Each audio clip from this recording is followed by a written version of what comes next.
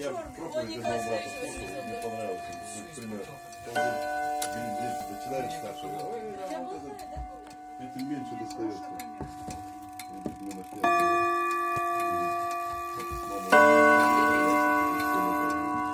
Так, есть. Ну что там это?